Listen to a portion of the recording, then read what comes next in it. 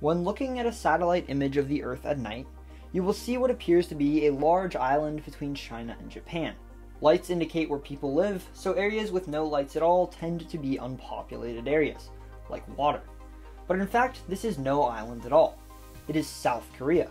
What appears to be the ocean by night is actually North Korea, an isolated country that lacks much electricity. The one area where lights appear by night in the country is the capital and largest city, Pyongyang. But outside the capital, rural areas and smaller cities go without power, making much of the country appear unpopulated, when it is really home to over 25 million people. Welcome to That Is Interesting. I'm your host Carter. Today, the most fascinating population patterns on the planet. In Australia, 85% of the entire country, or 21 million people, lives within 50 kilometers or 31 miles of the ocean. Of that 15%, or 3.7 million that lives inland, 430,000 of them live in the capital city of Canberra, which at 57 kilometers from the ocean barely meets the requirements for being inland itself. Out of a country of 24.6 million people, only 3.3 million, or 13%, live in neither its coastline or capital city. This is because inland Australia, much of which makes up the region known as the Outback, is very difficult to inhabit. It's an extremely dry desert, with only two major rivers that run into the ocean. Water means survival, and without it, human population will be sparse. On top of the unforgiving landscape, inland Australia is famous for dangerous wild animals, such as poisonous spiders and snakes. The east coast of Australia is separated from the rest of the country by a large range of mountains, known as the Great Dividing Range, which stretch from the northern tip of the country all the way to the south. Not only is inland Australia dry and difficult to live in, but the mountain range disincentivized many European colonists from heading into the outback. While much of the country is a dry and desolate desert, most of the coastal areas are lush, green, and filled with plenty of fresh water. The fact that the mountains are so close to the ocean on the east coast means that many of the valleys in the Great Dividing Range turn into massive bays as they reach sea level. The abundance of these incredible natural harbors make coastal Australia very suitable for trade and settlement. In fact, many of the country's major cities, such as Sydney, Melbourne, Brisbane, Adelaide, Perth, Gold Coast, Hobart, Townsville, Darwin, and Cairns, all developed around bays and harbors. The one notable exception to this is Canberra, Australia's capital city. However, the city is not extremely inland, sitting just a two hour drive from the ocean. It sits on the other side of the Great Dividing Range, in a greener area, home to rivers and lots of farmland. It is also a planned city, streets laid out in rings and hexagons, and a parliament building that sits partially underneath an artificial hill. The city's inland location was an intentional attempt to draw the center of the country's power away from just the coasts. Egypt's population patterns are even more stark.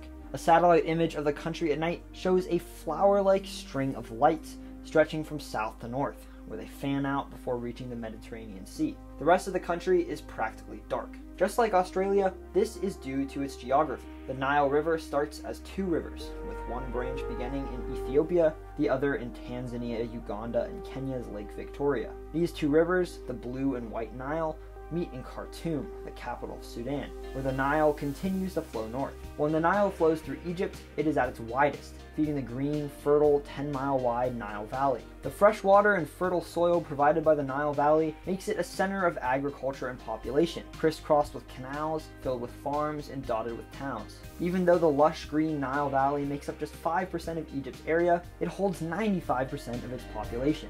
The other 5% of Egypt's population are spread across the other 95% of its area, the massive and inhospitable Sahara Desert. Out of a country home to 97.55 million people, 92.67 million live in this thin stretch of fertile land. The southern tip of Egypt's Band of Lights is the city of Aswan, home to the Aswan High Dam, which dams much of the Nile upriver, creating the massive Lake Nasser. The lake fills the rest of the Nile Valley in Egypt and prevents much settlement upstream. As the Nile Valley winds to the north, it is home to cities such as Qena, Sohag, Asyut, El Minya, and Beni Suef, each of which are major cities home to hundreds of thousands of people. If Egypt's population pattern looks like a flower, there is a clump of lights near the north, which looks almost like a leaf. This noticeable anomaly is caused by the El Fayum oasis, Once a dry basin to the west of the Nile, a flood filled it with fresh water, creating a large lake and a channel which connected it to the Nile Valley.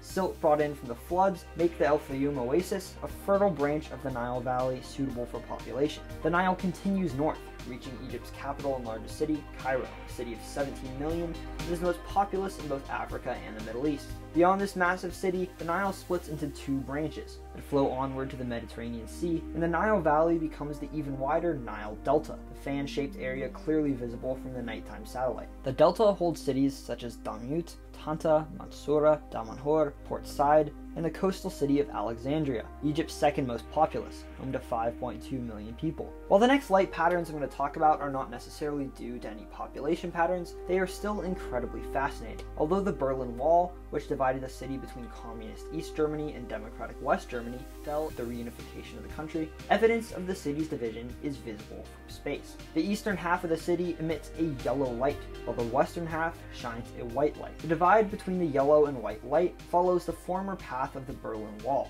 This is because East and West Berlin used different lights from one another. Poorer East Germany maintained older lighting systems in their half of the city that give the eastern half of Berlin a yellow tint when viewed from space, while wealthier West Germany could afford newer fluorescent and LED lighting that give the lights of the western half of Berlin a white tint. When looking at a satellite image of the United States at night, you will see what appears to be a massive city about 600 miles north of Denver, similar in size to the patches of light that make make up metropolises such as Chicago, Dallas, and Atlanta, it seems that you would be looking at one of the largest cities in the United States. But looking at the same map during the daytime, you will see that no such city exists. Where this non-existent city should be is a stretch of rural North Dakota, lying between Theodore Roosevelt National Park and the Missouri River. But a closer look will show you that this is not just farmland. Among the fields lie thousands of oil wells, when oil is brought to the surface, it often brings with it unwanted flammable gas, which is burned off in a process called gas flaring. What seems to be a massive city in rural North Dakota is in fact a vast oil field, and the city lights the flares of burning gas. Thank you for watching this video, and I hope you learned something new. Subscribe for more content like this. I cover the countries, cities, people, and places of the world and beyond.